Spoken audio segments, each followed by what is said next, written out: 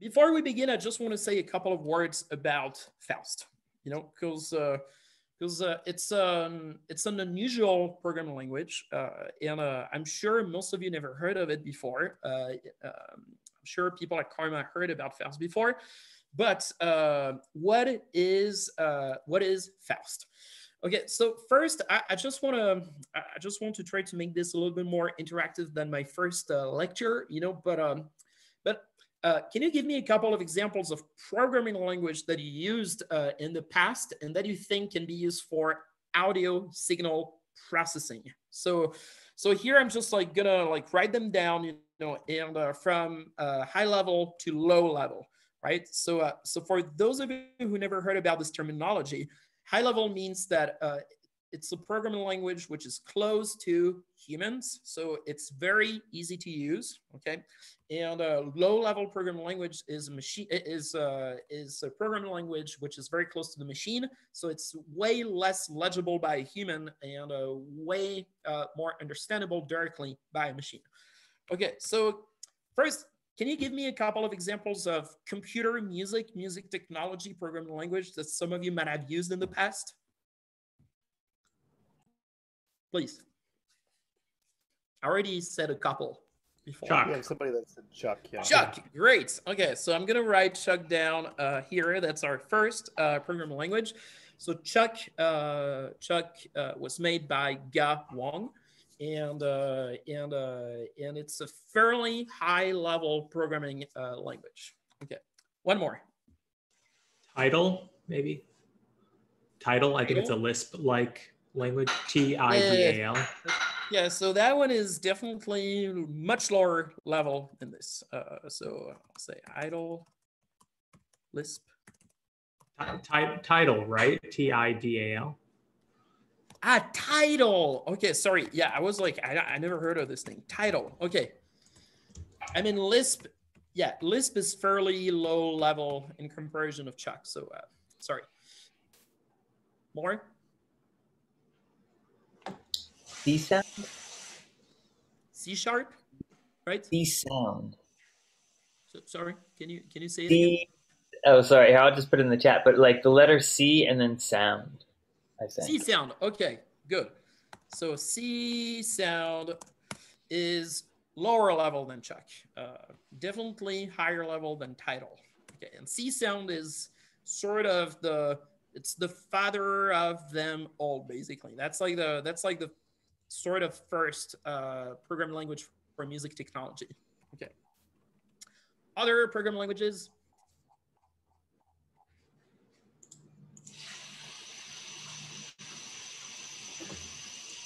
Max. Max MSP? Yes.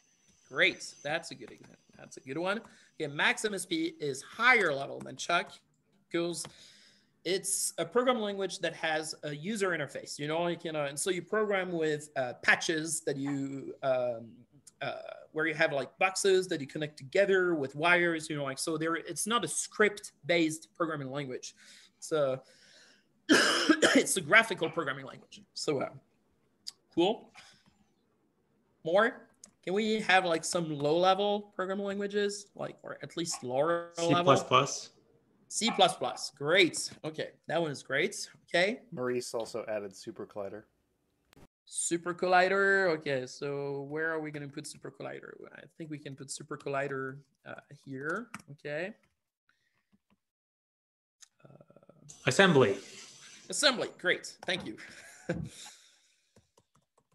okay, I, I, think that's uh, I think that's a good uh, that's a good list uh, already. You know, like so. Uh, so uh, if you want to do real-time audio signal processing on a computer uh, or even a microcontroller, in most cases, it's always going to go down to C++.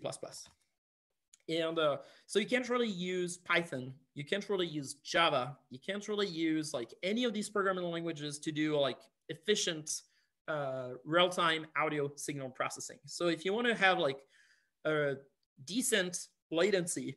And, uh, and if you don't want to kill your CPU, uh, you'll have to use C++. Okay, so basically all the languages that we have here they're all written in C++. Uh, and uh, so that's why I'm saying that it always goes down to, uh, to C++. Okay. So Faust is somewhere here. Uh, so it's between standard, like traditional music technology programming languages and uh, lower level programming languages, uh, which uh, like, and for instance, C++, you know, because that that's the, the one that actually matters for, uh, for, for audio. So what Faust does, uh, if you use it like in the most fundamental way, is that it will translate, so compile a Faust, because Faust is a compiled uh, language, it will compile a Faust program into C++. And then once it's compiled to C++, you can compile to you can compile it to many different things. You know, you, you can make like smartphone apps. You can make uh, uh, you can uh, put it on a microcontroller. You can make a standalone. You know, like so. So so you go from Faust to C++ and then to something else, basically, and uh, and that's kind of the whole idea of Faust, you know. And uh, and so Faust can be used to make uh, plugins for Csound, SuperCollider, Chuck, MaxMSP because it's lower level. You know, so if you want to make your own MaxMSP object, uh, you can use Faust for that. And uh, same for Chuck and SuperCollider and Csound. Okay. Okay, so uh, I think I said enough about uh, Faust uh, here, uh, and I just want to show you a couple of examples and uh, and show you how to use uh, how to use Faust. So let me share a different screen with you this time. So I'm back to this window. Okay, so in this class, we're gonna use Faust through the Faust Web IDE because you can actually use Faust online, and that's by far the easiest way to use uh, to use Faust. So uh, I'm gonna type uh, in the chat uh, the URL for uh, for this. Um, okay, so please uh, try to go to this URL. So it's faustide.grame.fr. There we go. Cool. So, uh, so we're going to use Faust Online uh, because uh, it's easier. Because installing Faust on some platforms can be uh, can be kind of a pain, uh, but online, you know, it just works. You know, and uh, it's easy for prototyping. You know, and there is no limitation in terms of using Faust online for what we're going to do in this class. So, so um, yeah, I want to say a couple of things about that. So the the online version of Faust uh, uses uh, very uh, cutting edge technology, uh, which are only available in Google Chrome and Firefox. Uh, if you use Safari, it will probably work, but there might be issues. So I strongly uh, not recommend you to use Safari for that. So so use either Firefox or uh, Google Chrome. Uh, and uh, Windows, uh, Edge, no, uh, and uh, Internet Explorer, like that's even worse. Okay, so so please please use Firefox or Google Chrome. Um, there are not really any difference between using the two, uh, except that in Google Chrome, there is MIDI support. So it means that if you have a MIDI keyboard at home and you want to control something that is happening uh, in uh, Faust in the web browser, uh, you'll only be able to do that if you use uh, Google Chrome. You won't be able to do that with, uh, with Firefox. Uh, I would say that it tends to be a little bit more stable in Firefox. So, uh, so personally, I use Firefox, and also I'm using Linux, and uh, and uh, Firefox works much better on Linux than Google Chrome. So, uh, so yeah, cool. Uh, is everyone okay? Or cool, great. So, um, let me zoom in here. Okay here you probably have mono, so I'm going to put mono back, okay? And I'm just going to get rid of this example. Um, okay, so in Faust, you can write code in the editor, which is here. Uh, and, uh, and the most simple Faust program that you can write is process equals one, okay? And so you see that one of the cool thing about Faust is that uh, the program that you write uh, in Faust gets automatically uh, transformed into a block diagram. So that's very uh, good for debugging. So, uh, so it means that whatever you write here, you will see the corresponding block diagram uh, in this window here in the Faust web uh, web ID. Okay. So, um, so what does this uh, do? Uh, so we can actually run this program, and to run it, you just click on Run. Okay and uh, and then there's a tab which just appears here okay? And uh, in this untitled window uh, with nothing in it uh, is basically uh, what corresponds to the, the, the the program that we just wrote you know? And uh, and if you want to kill the program if you want to stop it you just close the tab okay? So run and then close the tab okay? So can someone guess what this program is doing it's doing it's doing something. It's emitting a, a, a constant stream of ones. Absolutely.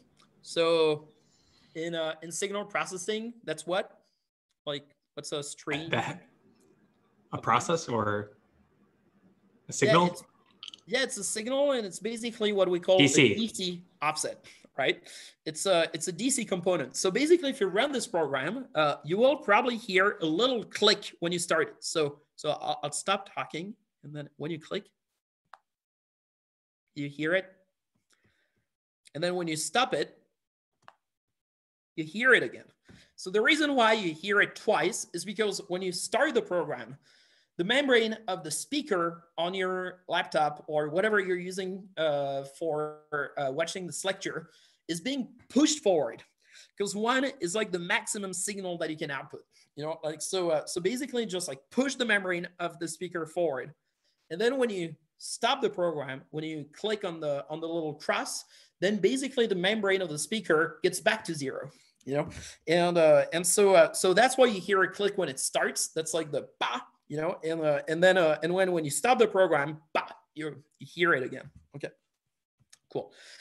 So that's pretty uh, useless, but it's good to know, you know, like and uh, and it's uh and uh and uh, it's uh it's once again the most uh, simple thing that you can write in Faust. So in most cases in Faust, you're going to use libraries, okay? And uh, Faust comes with a lot of signal uh, processing libraries. And uh, to use them, you have to import stdfaust.lib. Okay, and stdfaust.lib is um, is a way to access all the Faust libraries, all the standard Faust libraries from a single standpoint. Uh, so from the same place, basically. And, uh, and so as long as you import this, uh, you will get basically access to all the Faust libraries. Okay. And so now we're going to write uh, what some people call the hello world of computer music. So, uh, so, you know, like for those of you who never wrote a computer program, you know, like the hello world is the most basic program that you can write and usually just says hello world, you know, like displays hello world. We're not going to do that. Uh, it's not going to say hello world because that's very hard to do. Uh, but uh, the hello world of computer music is usually just synthesizing a sine wave. Okay, so how do we synthesize a sine wave in Faust? Well, for that, uh, we can use a function and the sine wave function in Faust is os.osc. So OS stands for oscillators. That's the uh, that's the oscillators library uh, that we get access through stdfaust.lib. And then OSC is the sine wave function. Okay. And can someone guess what the what the argument of this function is going to be? There is only one one parameter. Frequency. Yes, great, thank you. So, uh, hertz, so here we hopefully. can say, for example, 440 hertz, uh, which is going to be a uh, which is going to be what? A. A, great. Uh, and so if we run this program, we hear a sine wave.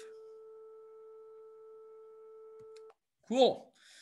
So, so that's already a lot, you know, because if you had to write that from scratch in C++, it would have taken you a lot of, lot of time. Okay, so now some of you might wonder why the block diagram here uh, doesn't really correspond to uh, uh, what's written uh, in the Faust uh, web editor here. And the reason for that is because what we see here is the actual implementation of the sine wave oscillator. So, uh, so that's the content of OSC here, of the OSC function. And, uh, and so uh, if you analyze it, uh, for those of you who know about that kind of stuff, you know, you'll see very quickly that it's a wavetable based oscillator. I'm not going to go into details here, you know, because that's not the point of this class, you know, like, but, uh, but, um, but, uh, yeah, this is a wavetable based, uh, oscillator. Cool. So great. Uh, so if we keep the program running, uh, we can actually uh, change the, the frequency uh, of it in real time. It will recompile itself. You know, so.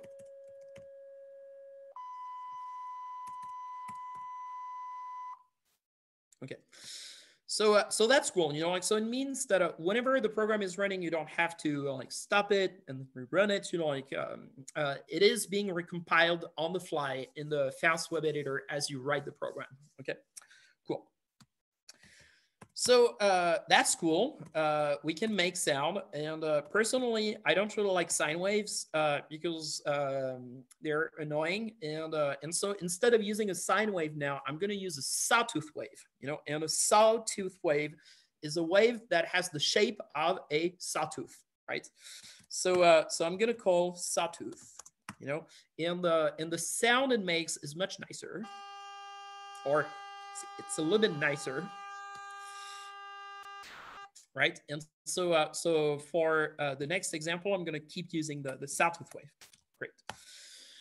So uh, that's great, uh, but uh, but we're not going to go very far with that. Like this is definitely not something that we can use as a musical instrument. So uh, so to actually turn that into a musical instrument, we need to be able to control the frequency of the site of the sawtooth wave in real time. So so we can control it by changing it by hand, you know, and then take some time to recompile. But uh, but that's not a very practical way to do it, right? Like uh, here, we want to have a user interface element that allows us to change the frequency of the sawtooth wave uh, in real time. So the first thing I need to do for that is to create a variable. And, uh, and to create a variable in Faust, uh, you just have to give it a name. So here I'm going to call it call it f for frequency, and I'm going to say that f is equal to 400. Okay. And then I'm going to be able to use f as the parameter of my function. Okay. And so if I run the program again, the result is the same, right? Uh, it's just that now my frequency is declared outside of uh, this line here. Okay. So this still doesn't allow me to change the, the frequency in real time. For that, I need to assign a user interface element to F. And uh, in Faust, there are a couple of standard user interface elements that you can use. And the one that I'm going to use here is a horizontal slider. So H slider, okay? And H slider uh, takes a couple of arguments as an input. The first one is going to be the name of the slider in the interface. So here I'm going to call it freq for frequency. Okay. So that's the name that's going to be displayed when I run the program uh, for that slider. Okay. The next argument, you see that arguments are separated using uh, commas here. And uh, the, the next argument is going to be the default value of the slider uh, when I start the program. And, uh, and so, uh, so here I'm going to say 400. Okay, so, so like when I'm going to start the program, the, the position of the slider is going to be 400. The next value is going to be the minimum value of the slider. So here I'm going to say, uh, for example, 50. So, and those are hertz, you know, because we're controlling a frequency. So, so 50 hertz is very, very low frequency. And uh, the next argument is the highest frequency of the slider. So the, the highest value of the slider. And uh, here I'm going to say a thousand uh, so that it's not too painful if we go there, you know, it goes, uh, it's not a super high pitch. And finally, the last argument is going to be uh, the step. So it's going to be the precision of the slider. So here, if I say one, it means that the, every time I'm going to move the slider, it's going to go one by one, you know, so it's going to be like 50, 51, 52, 53, blah, blah, blah. If I were to put 0.1 here, then I would go uh, 0.1 by 0.1, you know, like so 50, 50.1, 50.2, etc. Okay, so here I'm controlling the, the precision of the slider. Cool. So now if I run the program, I have a slider, okay? And this slider now allows me to control the frequency and so the pitch of the sound that I'm generating in real time. So I can already make music with that, uh, or sort of. Do you have any questions about this very simple Faust program?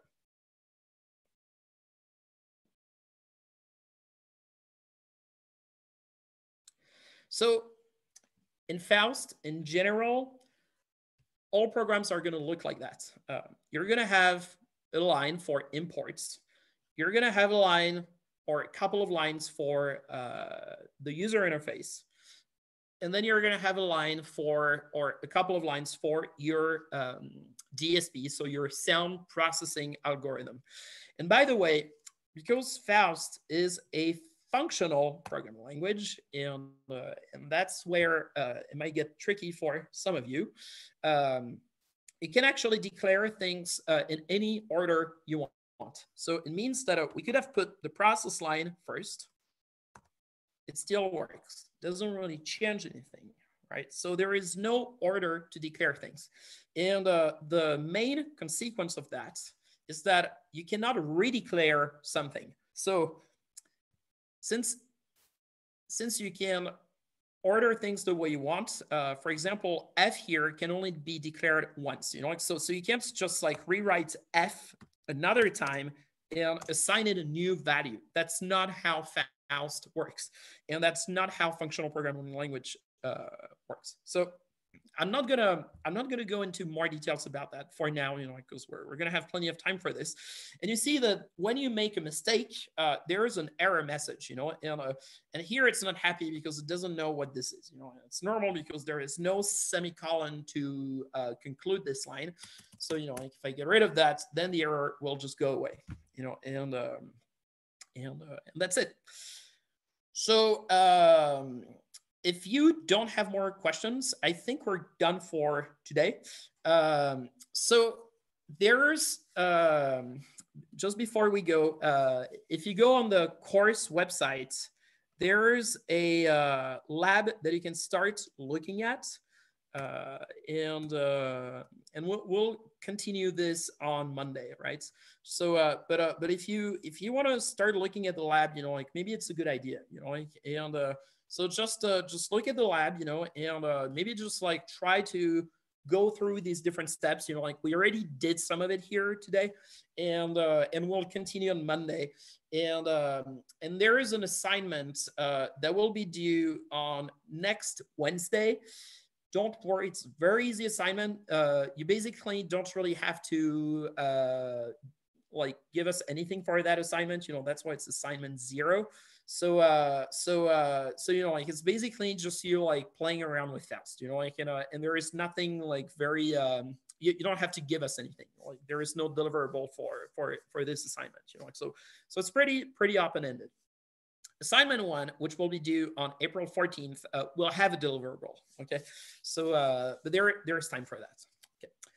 Cool. Do you have any uh any questions before before we go?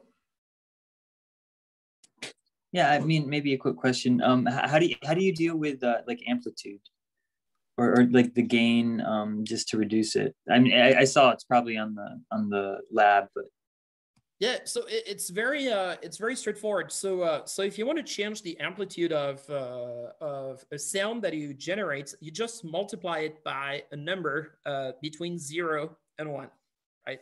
Uh, so uh, so here if you want to change the amplitude of the sawtooth wave, um, for example, if you want to divide it by two, you can just say multiply 0.5, right? And uh, or multiply 0.1, you know, and, uh, and we can actually try it. So 0.1, 0.5. And then of course, you can use a slider to control that. So you could say H slider, and then uh, you could call it gain. Okay, and uh, the default value of gain is one, the minimum is zero, the maximum is one, and the step is 0.01. And then I can use that here. Uh, and so now I'm multiplying uh, my sawtooth wave by G, which is a value between zero and one with a step of 0.01. Now, if I run the program, I can control the amplitude of the sound that I'm generating. So now we almost have a real musical instrument, but uh, but I don't want to give up everything for now. You know, so so the next step will be uh, will be next uh, uh, next uh, Monday. So that does that answer your question, Asano? Or Yes, thank you. Yeah. Thanks.